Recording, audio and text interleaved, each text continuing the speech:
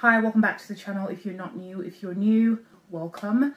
Thank you for joining me. So I hope you had a good week. Um, I'll just get straight into the makeup. So I've gone through my skincare and done my brows because they take such a long time to do. So just want to shout this out. This is the Essence from Pat McGrath. It's Divine Skin. I've got a sample from the um, end of summer sale. And I actually really like this. I didn't know what to expect, but I it's kind of nice. It gives an instant plumpness to skin, a glow. And I've been loving it for skin prep. Sometimes I just use it on its own and just apply my makeup. It is so good. So today I'll use the self-refreshing foundation. This is Synchro Skin from Shiseido. And that's my shade, it's copper. Put this in my brush. Just kind of buffing it in. So as far as the match with this one, it has a slight red undertone. And I actually don't mind that because sometimes it's like a hint of red cancels out any hyperpigmentation or discoloration in the skin. So, and then it kind of evens the skin out. It does look very skin-like. It kind of meshes with your skin. I wasn't even looking for that. I just kind of noticed that it looks very skin-like. So maybe that's why they named it Synchro Skin. it's actually almost done. I'm actually surprised that I've got a bit more in there because I use it every single day. Well, not every day, but a lot during summer. I'm going to take that up on the forehead. Yeah. So I do go off camera and just really blend the foundation into the skin. I've got a pimple just there. I don't know what it wants from me. Why are you here? I'll go with the Beautiful Skin Radiant Concealer from Charlotte Tilbury to highlight. So I'm really sorry that I didn't post last weekend. I just was just spread thin. Today I'll do a full glam face and just deliver on that green smoky eye that we promised a couple of weeks ago. Do you know the models on Instagram just do like one swipe there and just one little swipe. I'm gonna need the whole bottle okay? just depends on how much you think you need. So now I'll just go into bronze. This is Beautiful Skin Sunkissed Glow Bronzer from Charlotte Tilbury. Just going to buff that into my hairline. Ooh. this bronzer makes me just glow on the inside as well, not just on the outside. Maybe I'll add a bit just there too. I'll take my favourite contour. This is Anastasia Beverly Hills.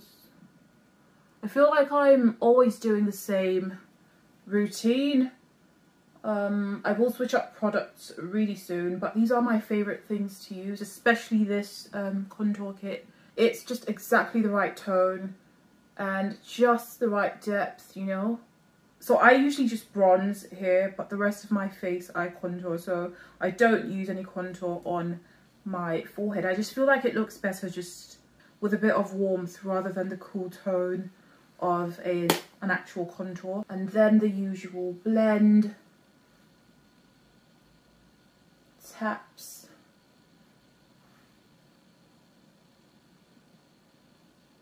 So this is one of my favourite concealers just from the shade to how beautiful it is blended. Oh, wow. Super, super gorgeous. Just flawless.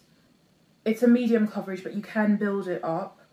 And I think it's more on the on the um, higher coverage of the medium spectrum. Do you know what I mean?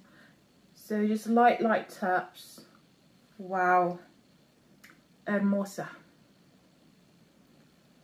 beautiful.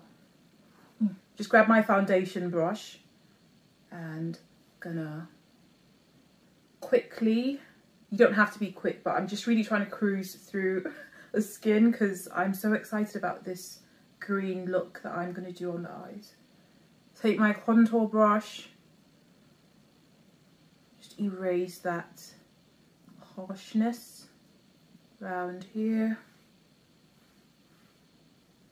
Just doing complexion makes me so happy. Like I like blending so much. Really just cut this down. Again, I'll just grab my foundation brush. Give a bit of And then we're going to tap like we never tapped before. Okay, so now I'll just go in with my powder, but I'm not using my beloved Huda powder because I've actually run out of it. The powder that I'm using, I won't say because I actually don't like it and I don't want to mislead anybody, but it's very, it's quite brightening and it's actually not that bad. It doesn't last or wear very well, so I, I won't shout it out. So I've used a lot of powders when it comes to makeup, and some of them are quite popular but just didn't work for me, like one that rhymes with Bora Bercier. Okay, so everyone loves that, but I used two um, freaking jars of powder and I just can't get with that one. So I'm going to stick to this one instead. And another one is Charlotte Tilbury's. Obviously, I love, love that powder, the compact powder. The Airbrush Flawless is so good. But yeah, this is not my fave, so I just won't say anything about it. There are so many popular products that just didn't work for me, so I'm always big on just trying things out. Just see for yourself what works for you and what works for you might not work for someone else. It's really not up to majority. Don't feel like you're supposed to like something. If it doesn't work for you, then it doesn't work for you. So, and there's so many options when it comes to um, makeup nowadays. This is the sculpting powder from Kevyn Aucoin. Just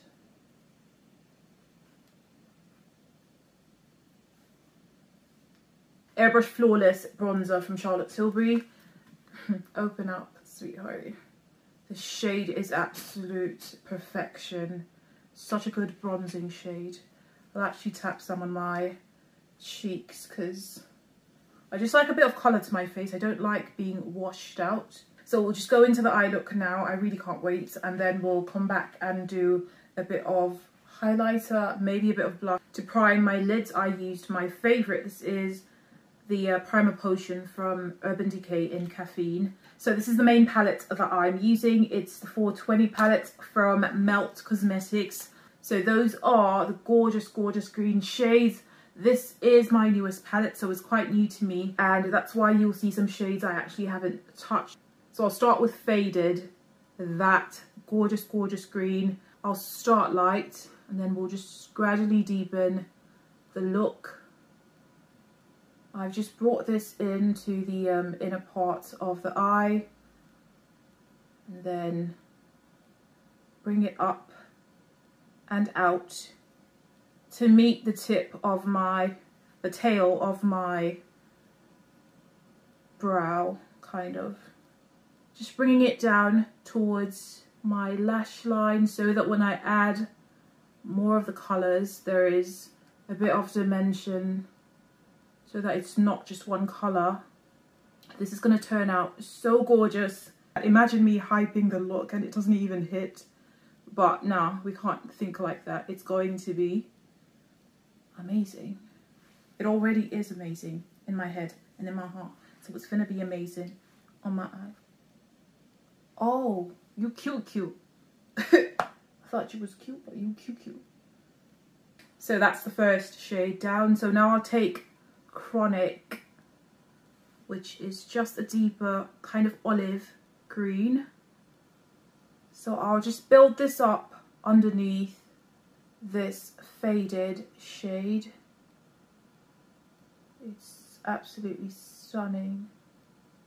Okay, lovely, so gorgeous.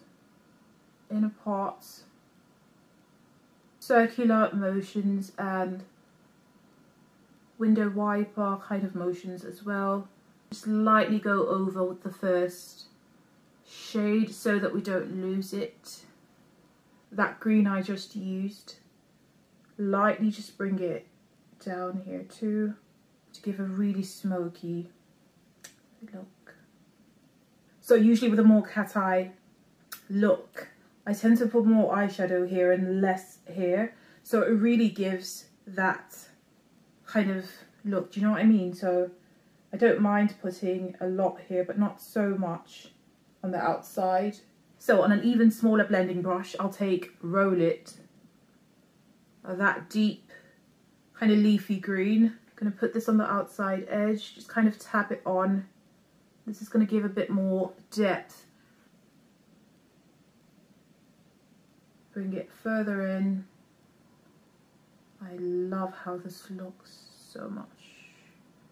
So I said this was a green smoky eye and it is, but I just want to add a bit of maroon just on the lash line because it is a bit fall inspired as well. So I just want to add not so much a different shade, but a different element. So just a bit of flair, like a nuance to the look. So I'll take this Maria shade from the Amore Mariposas palette.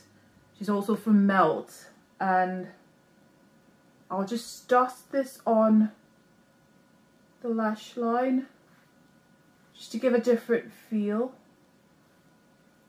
This actually will make the green pop a lot more, I think. I think.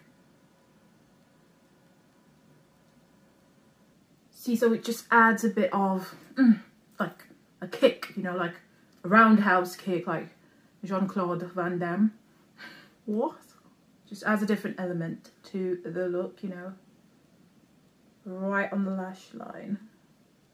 So now, the moment that I've personally been waiting for, I'm going to add a green shimmer right on the lid and I'm going to take it from this palette. It's called Amunet or Amonet as I like to call it. It's from Adept Cosmetics and it is super, super stunning.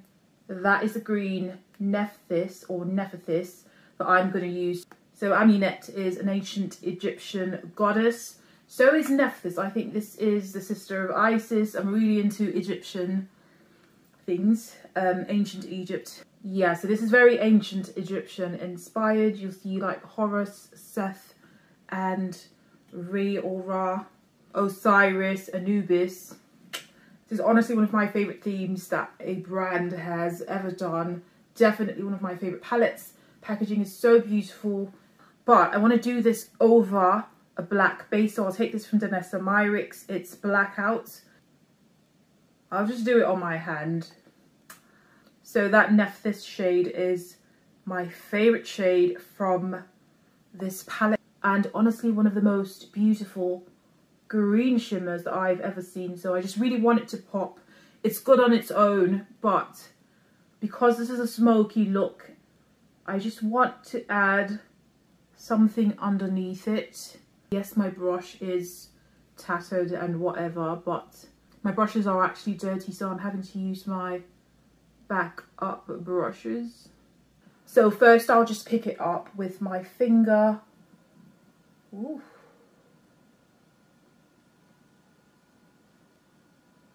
Tell me this isn't gorgeous, just beautiful. Wow. Okay, so I'll just take a brush and use the brush because these nails are literally my power, my pleasure and my pain. I just spray it twice. Bring it up all the way here. I don't want the um, crease to cut. So I'll just kind of tap tap, tap, tap.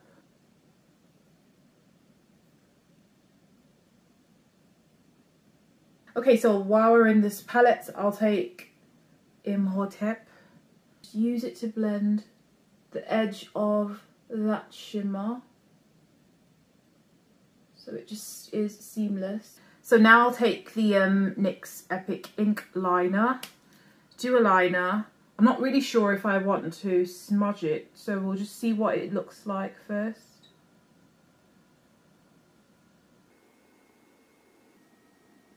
Okay, so the liners are not exactly identical, but I'm not about to ruin this look, so I'll just go in for an inner corner highlight. Spray my brush. I'll just go into Celestial Nirvana. This is a new holiday palette from Pat McGrath. First of all, it's absolutely gorgeous. Like, what in the actual world is going on? I'll just grab this shade on the corner called Golden Angelic. Pop that right in the inner corner. I always said I'd name like my child Nirvana or like Cathedral or Fire. I always liked fire. Right, so I've just added my lashes. It's giving Egyptian goddess. Okay, so I'll just go underneath with a bit of Perversion mascara from Urban Decay. Actually, first I'll take the NYX Epic Wear Liner just for the waterline. Brown, a very dark brown, because this is a smoky look. And what's a smoky look without brown or black in the waterline? And then quickly I'll just take this called Shatter. This is a um, shimmer, amber shimmer. Just place that here because I feel like the bottom needs a bit of highlighter as well. We have to be fair. So just for a bit of blush, I'll take Sanguine. This is from Kaleidos. Ooh, packs a punch. So I'll add a bit of highlighter. This is the Iconic Drops, my favourite liquid highlighter, just over there. Is that not the most stunning highlighter you've ever seen? I don't do too much here because sometimes it emphasises the texture in my forehead. I don't like that. So lastly I'll take this, it's the Cloud Lab Lip Clay from Kaleidos and it's in shade Cognac.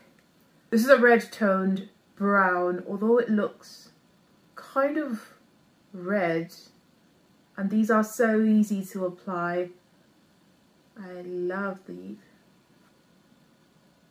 kind of brought down the lighting a bit because I feel like I don't want to um, shortchange the eyeshadows or the lips. Like I need everything to look the way it's, it looks like as gorgeous as it looks. Do you know what I mean? okay, so I'll just leave it here. This is the look done. Last week I said I would show you the most gorgeous green that I've ever seen. And isn't this the most gorgeous green shimmer that you've ever seen?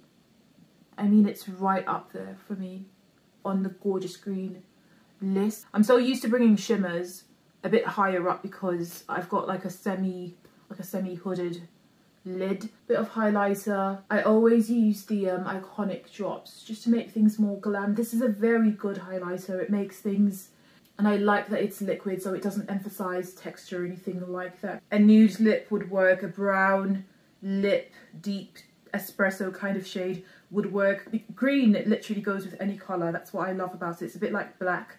Yeah, so it's quite a versatile look and I just love the green sauce. yeah, so overall I like how it turned out. So next week though we'll get into some colour. This is the Escape Pod from Kaleidos Makeup. So yeah, we'll get into some colour next week. Thank you for watching. If you have any questions or comments, leave those in the comment section and I'll see you next week. Bye.